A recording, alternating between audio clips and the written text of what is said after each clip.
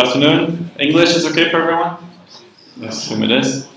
Um, my name is Nick, and this is Joris. And uh, today we're going to talk about the state of search, uh, also facets and Solr and Elasticsearch and whatnot in Drupal 8. Drupal 7, that's like, it's past, right? So uh, a little bit about who I am. Um, I'm now living in Ghent. I uh, lived in Barcelona and Lisbon, uh, also in Boston. In Boston, I uh, was at the Acquia office, um, but it was too cold, so we opened up a little office in Ghent. Um, and I've been uh, with the Drupal community for more or less eight years, and most of that time I've spent with search. Uh, just maybe one thing to note, in my day job, I don't do anything with Drupal or with search. It's purely relaxing for me. So um, that's something about me. Um, my name is Joris. Um, I live in Mechelen.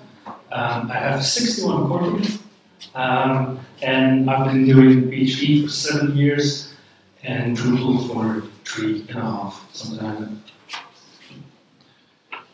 So of course, uh, we're going to talk about search, and as most of you know, in Drupal 8, this is uh, purely Search API. We merged Apache Solr and Search API in Drupal 8. Who didn't know?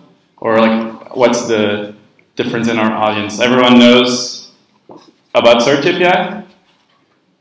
Or who doesn't? Maybe raise your hand if you don't know what that is. Um, so I'll, I'll explain shortly.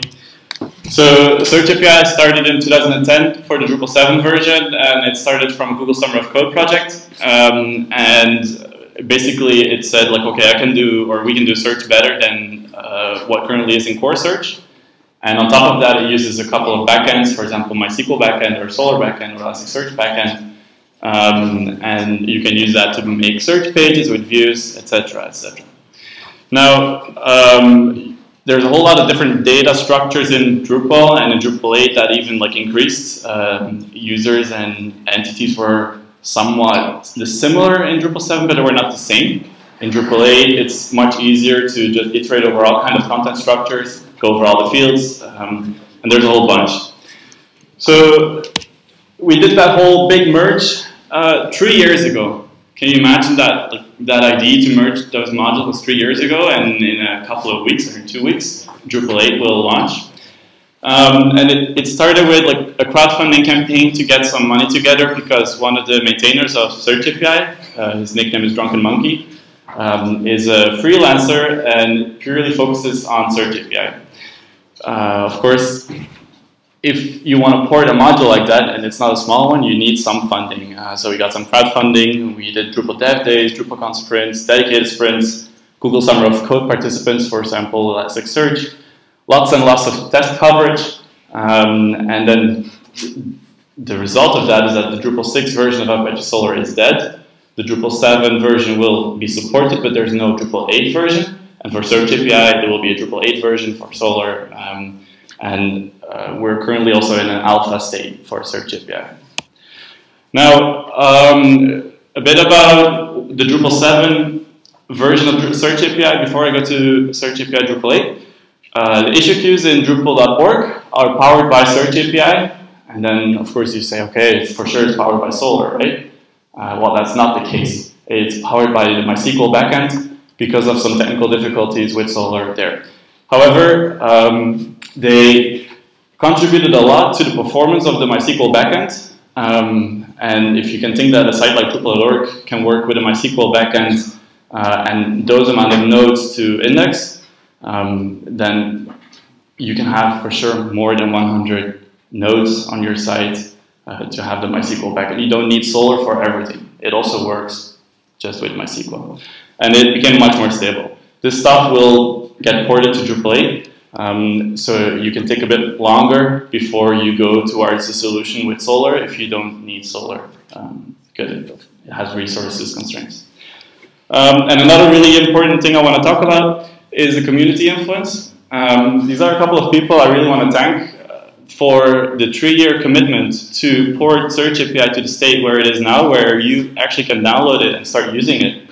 Um, and some of these people uh, only work on like volunteering basis after their job, like work hours. Um, all of them uh, were at some point at some sprints. Um, so thanks all for those people. Uh, if you come across them, please give them a hug or whatever they like. So basic architecture didn't really change in Drupal 8. You still have an index. Um, this is the stuff where you find what you want to index. You still have a server. Um, and server can be the database, could be Solr, could be Elasticsearch. In Drupal 8, all of these options work. You can start building your sites with any of those backends. Um, and view support is working. However, there's no possibility to get individual fields from a specific backend. We're still working on that. Aside of that, everything else is working. Um, so you have the what, the how, and the display. Done. Uh, a couple of tips, and uh, we'll get to a little demo soon. Um, there's an option that says index items immediately. And who like uses that in Drupal 7? Or who knows what that even is?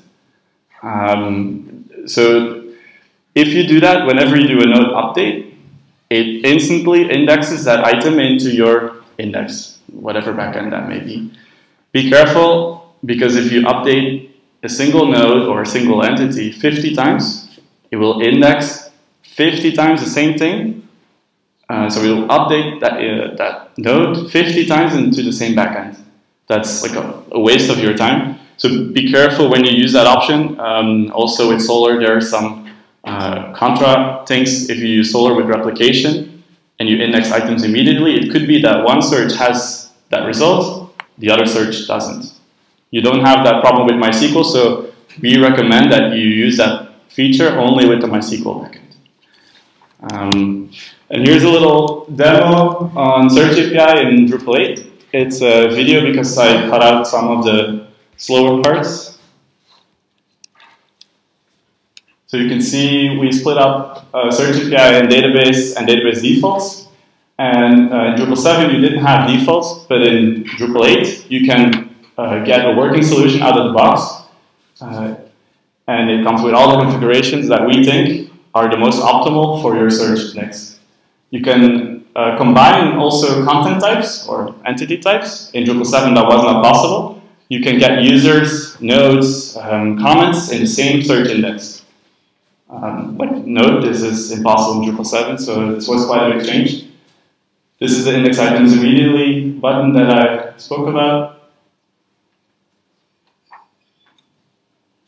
You can still, like every other functionality that you had in Drupal 7 is more or less working in Drupal 8. Uh, did it? Okay. Um, so well, that wasn't the full demo, I think.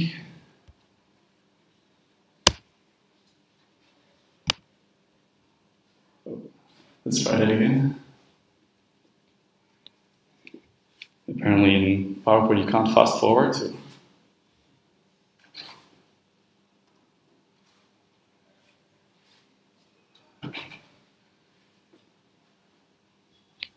Okay, so let's see. I want to go to that fields.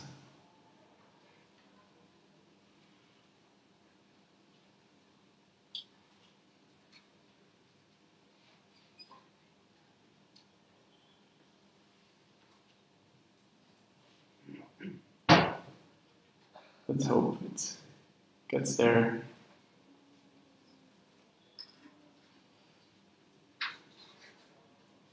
Come on. No. Okay, I, I, so it actually continued. So this is like if you have multiple content uh, types, you can configure them differently, whichever bundle, is a Drupal term, you want to use. Um, and then for each entity type, you can select instantly all the fields and you see that the rendered item is configured by default. The rendered item is basically an indexation of a view mode in Drupal.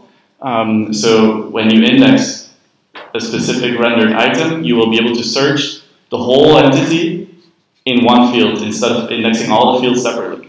This is very important when you work with the Solr backend uh, because you don't want to have all kinds of different fields that you then combine to search. So please use those defaults as the best practices because in Drupal 7 this was one of the most common mistakes people used. They just selected all the fields um, and they wanted to search it. So here you see the processors in Drupal 8. Uh, you can select them independently. It's a little different in terms of UI. You can see where each alteration of your data happens. It could be in the pre-query, the post-query, um, and then after in the display. You can select different view modes to index as well. So it could be that, for example, for anonymous users, you only want to index a certain view mode because other content could be restricted, but it also has support for node access. For those that use Drupal 7 uh, this is not very different, hopefully. Um, and here you see the view, which is also installed by default. You don't have to create one again, uh, figure out where your index was. That, that's all there by default, but you still have the possibility to add another one if you want. Um, and you can see that for each entity type that you indexed, you can select a different view mode.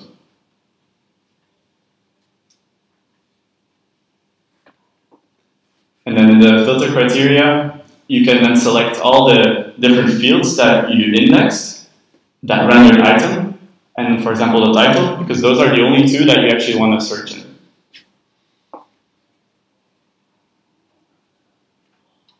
So let's see how that looks like. Um, yeah, one other thing, currently Drupal 8, if you want to start using it, don't use caching. It doesn't work yet. Just so that you're warned. Um, so now I'm going to that views page, and you can see the, view mode of that content, it's generated content. And do like a simple search, and it should work. So that's the, the current state of Search API with the uh, database backend. Um, now if we go to Solr, it's a much simpler process. Um, in Drupal 7, you were already able to switch an index from a backend back and forth. So for example, for developers, you start with the MySQL backend, and then for production, you use Solr. Um, it became as simple as this, and it's like under a minute normally. So you, you create a new server, and you enable the search API Solr module. You, you configure it, there's um, exactly the same configuration options as it was in Drupal 7.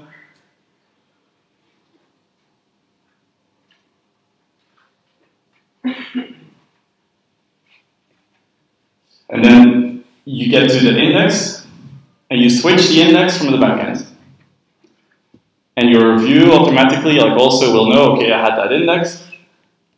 You, you re-index your items, there's no other configuration you need to do for your view. The view was already added by default, so in, in theory, you can get started with API and Solr within a couple of minutes. The only caveat is that you need to know how to start Solr, but um, with Solr 5 that became a bit easier. If there's questions about that, um, I'll try to answer them later. So if we go to our search content now, you see exactly the same, but so like Solr Search actually executed that search. So that's a very simple um, overview of the state of Search API in Solr uh, without facets, and we'll talk about facets later. Um, now what still needs to happen, the UI is still a bit clunky, so selecting all those fields is uh, still not very easy uh, and the views um, capability to select individual fields, for example, from your Solr backend, because it could be that there's data in your Solr backend um, that doesn't come from Drupal. Uh, that's not working yet. We need to work on caching and some operators. Um, and one thing um, that I want to focus on later as well is multi-site searching between Drupal 7, Apache Solr, or Search API and Drupal 8 Search API, um, so that you combine your content in one Solr instance and you can search them from whatever site. It could be that you have multiple sites, which is Drupal 7 and Drupal 8, um, but that your content needs to be scattered across those sites. So what's more, um, there's an Alpha 9 release of Search API, so you can start using it right now. I don't know when we will go to beta, um, but if you start using it right now, we can actually test uh, more things and figure out more bugs before going to beta. Facet API has a working development version. We'll talk about that in a bit. Search API Pages uh, has alpha release. Um, Search API Solr is the development release, and Elasticsearch is also in development release. Uh, Elasticsearch was developed by Google Summer of Code students recently, um, and he is still working on that. So that's like a success for uh, our community. Um, I don't know how well it works, uh, but if you do and if you tested it, please let me know. Um, are there any questions so far on Search API before we go to Facet API? Okay. So I'll be talking a little bit about Facet API. Um, first, these are facets, so um, just so you know what we're talking about. Um, I'm going to talk a little bit about the architecture changes that we did going from 7 to 8. Uh, I'm going to show you how to make a custom processor. I'm going to talk a little bit about the context system. I'm going to give a short demo and we'll talk a little bit about what is still to come. So, architecture changes. Um, Hook Facet, Facet API, Facet Info is gone because um, all configuration is now stored in the Facet config entity. Um, because uh, global state is now much harder to do. Well, it's it's not um, easy to do in Drupal 8, and it's not good to do either. So we store everything on the entity. Um, that means that um, we also um, deleted realms. Um, so searchers hook facet API search info is gone as well. That is now called a facet source, and that's a plugin. Um, as I mentioned earlier, uh, realms, they are gone. Um, Hook Facet API facet adapters um, are that is now one service, um, so that's a lot easier as well to work with. Um, query types is uh, something that is still not done yet. We're still working on that um, but those are plugins and not a hook anymore. Um, widgets have become plugins as well. We really, really like plugins, so um, the hook is gone and it's now a plugin. Um, filters, um, for example, hiding every um, everything that starts with a special letter or just any processing that you can do or filtering that you can do on a facet result is a processor now. Sorting of a widget, uh, which used to be a different hook, is now also a processor. Um, a URL, which used to be a hook, is now also a processor. Um, so custom processors, those are things that we really like, and we've done a lot of work in making things into a processor. So a processor has um, three different interfaces, or can have three, three different interfaces. So first of all, you need to add um, a Facet API processor annotation to a custom class, and that makes it into a Facet API processor.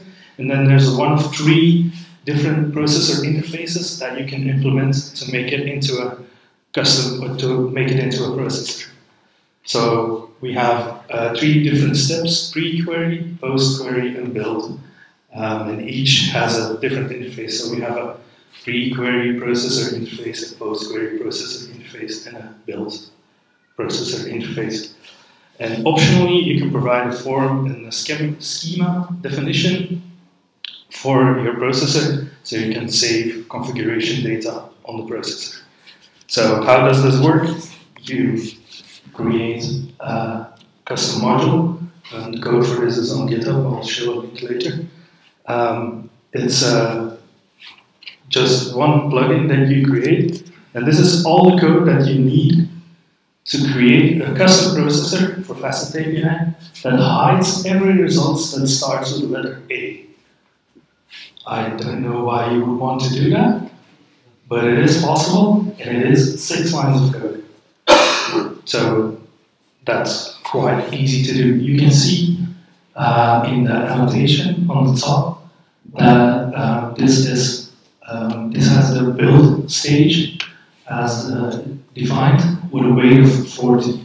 So that means um, every processor has a different weight uh, depending on where in the process um, that you want to have this processor executed. Um, and this also implements the build processor interface and the required build method on that.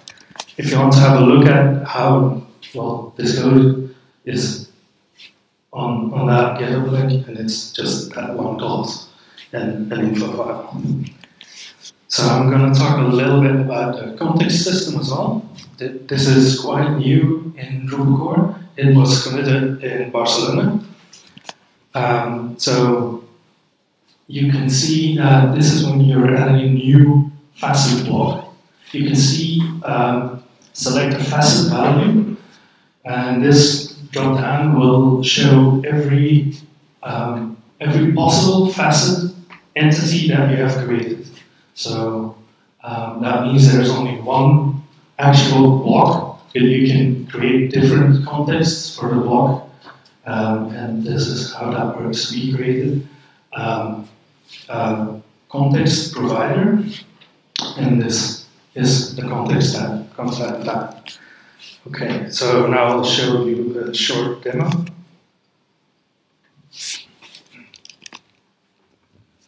Um, on how to add a facet. So you select a facet source. A facet source is a view um, that implements, that uses the search index, um, and you choose the field that is defined on that search index. Um, this works currently for views that are that have a page view, and it works for uh, search API page um, pages. And we're currently working on making it work with a block view, but that doesn't work yet. Um, so this is how you create a facet. Uh, you maybe saw that there was a big list of processors. That's the UI for that is still really, really bad, and we are going to change that, but this is how it currently works. So if you want to place a block, um, you click on place block, you select the facet block, and you configure the context that you of the facet entity that you created, save the log, and that's it. Um, so on the front end, this is what it looks like. You get a bunch of links of the entity with the bundles defined for, uh, for that index. And that works. So this is the current UI of one widget, the links widget. Um, okay, so there's a couple of things that we still need to do. We need to finish the search API integration. Um, so the blocks, block views for search API views still need to be, uh, be worked on. Um, it currently doesn't work with Drupal core. We plan to uh, support Drupal core search pages, but that doesn't work yet. It is we need to create a new facet source plugin for Drupal core, and then that should work, hopefully. Uh, we need to port all the remaining processors or plugins or filters, um, but we have issues created for them, and the work still needs to be done on that. The UI needs to be polished, and Jimmy is currently working on that, but it's not good as it is right now. And uh, lastly, we need to add more tests. Integration tests, unit tests, all tests. We need more tests. Okay, um, we're uh, doing a weekly hangout every Monday evening at 8 o'clock. Uh, we're all in Drupal Search API on, uh, on IRC. The Drupal.org node that is shown there is the how to get started with Facet API uh, or how to help contributing um, issue. It has uh, some information on who we are where we're going and how we want to make Facet API better and how you can help. Um, and there's a, an issue search link there as well, and that is uh, we currently have like 10 novice issues in the queue, and anyone who wants to help out can pick one of those issues and can, can help out. So this is the, well, this is uh, DrupalCon Barcelona, and we were working on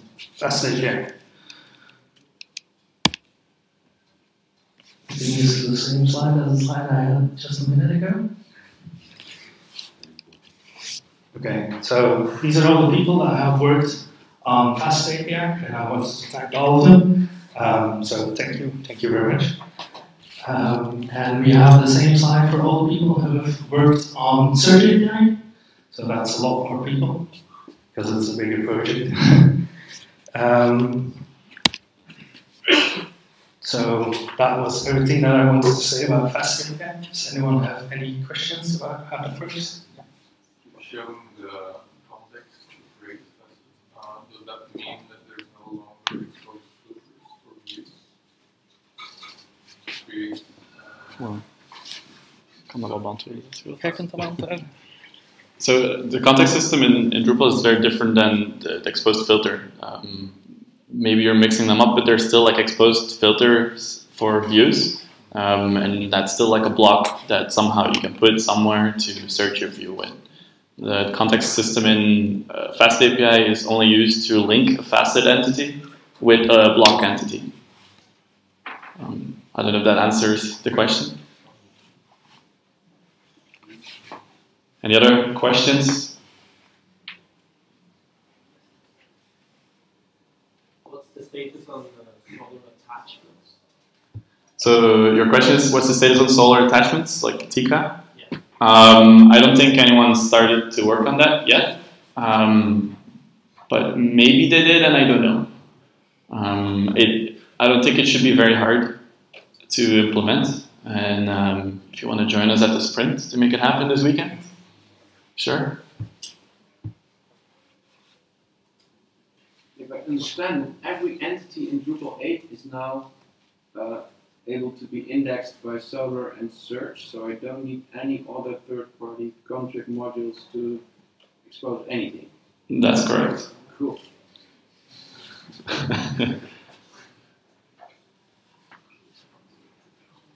So like search API term or Apache Solr term, um, any other like list of other modules is no longer necessary. Okay, uh, unless there's any other questions, I'd like to thank you for listening to us, and hopefully you can start building uh, amazing websites.